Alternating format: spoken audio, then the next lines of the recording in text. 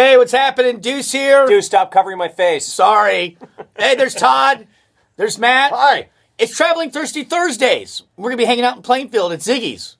We got all kinds of cool things going on, right? What's going on? Yeah. Free food buffet, the best free food buffet. Hot bartenders. you Hot know. bartenders. Yeah. Very talented Fat women, bartenders. yes. And there's going to be Blue October tickets as well. So come out and join us. And it's a beautiful day.